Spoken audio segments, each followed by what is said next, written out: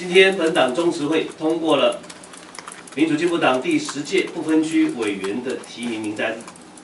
我非常感谢党内同志以及社会各界这段时间来的推荐跟关心。我们相信这份名单兼具多元与不同专业领域的人选。我非常敬佩的是每一个委员，从不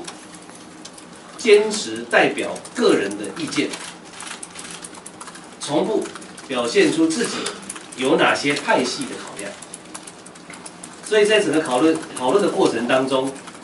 个人的意见、派系的考量几乎是不曾发生过的。凡是今天在名单当中的绝大部分，我们都进行了，我亲自进行了征询跟了解，跟长时间的谈话，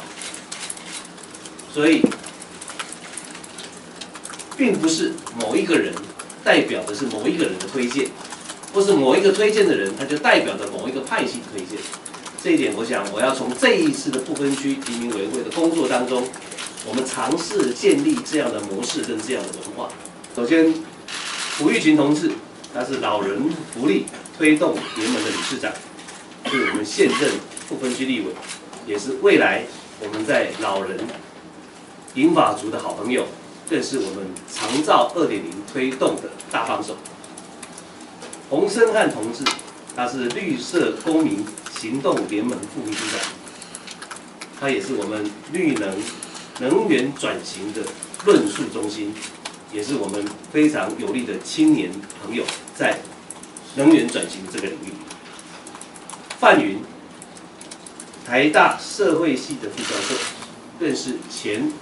社民党的召集人，他代表了我们政党合作，民进党跟第三势力扩大合作的一个新的模式。这份名单纳入了前社民党召集人范云。不仅是肯定他在野百合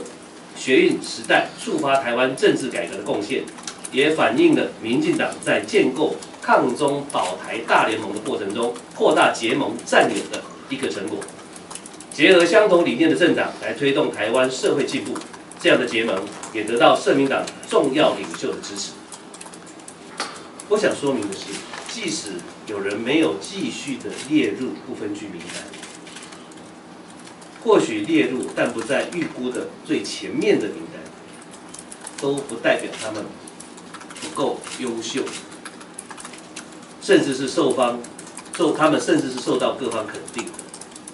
所有的彝族之憾，反而更能表示未来我们会有一个新的舞台跟战场正等着他们去挑战。那这份名单刚刚在我们的中执会是全数一致的通过，没有任何的异议。那这个才是代表最后的名单。